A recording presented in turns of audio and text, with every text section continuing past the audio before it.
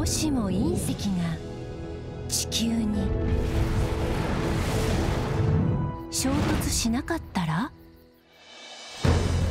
そこは恐竜だけが言葉を話す世界。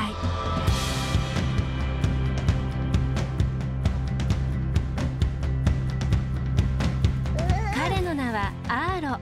弱虫で父親がいないと何にもできない怖がりの恐竜。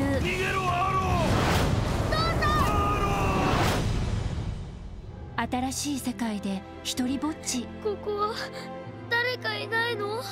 怯えるアーロを助けてくれたのは初めて出会う人間の少年スポットだった。君は誰？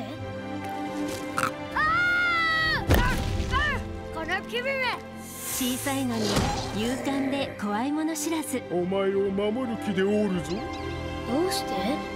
正反対の二人。離れるなよ一緒に家に帰ろう。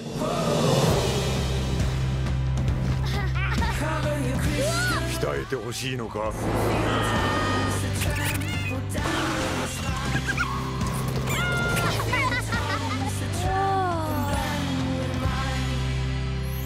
家族に会いたい。でもスポットにも悲しい思い出が。一人ぼっちと一人ぼっち言葉なんていらなかった。そ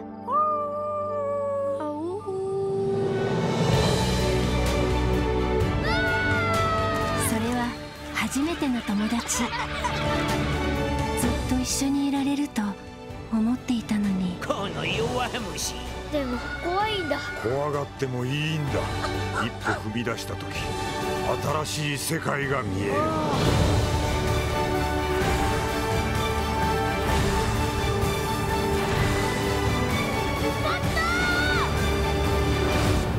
と少年。初めて誰かを守りたかった。